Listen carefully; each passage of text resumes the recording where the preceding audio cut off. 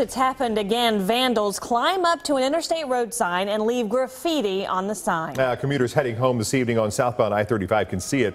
New at 6, Brenda Lise Gonzalez shows us why KDOT has not been able to remove ladders to those signs that they say would prevent the recurring problem. A simple tag may seem harmless enough, but every single spray costs thousands of your tax dollars. Drive too quickly, and you just might miss the latest addition to I-35 South. Pass by exit 234 toward Rainbow Boulevard, and you'll mainly see what looks like scribble. The graffiti is small enough so drivers can still read where they're going, but that's not what Rick Looper sees. Me, I just see a mess. He and the rest of the Kansas Highway Maintenance team only see a major headache. It's frustrating. It's like, you know, we got to go cover this up again.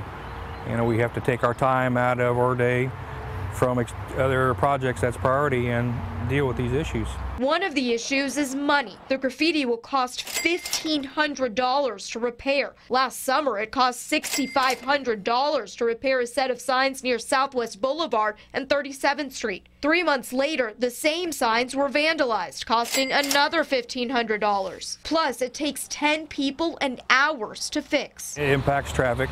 You know, people have nowhere to go. The ladder and catwalk crews used to get up to these signs have now been removed in spots like 37th Street, but they remain on the latest sign to get tagged. Looper blames bad weather and timing for not having them removed sooner. We just got to make sure we keep our impact to public roads minimal. With more than 130,000 passing underneath these signs every day, Looper's certain someone's seen the vandals in action. And they can, you know, kind of, you know, let somebody know that they've seen them do this and maybe make them accountable.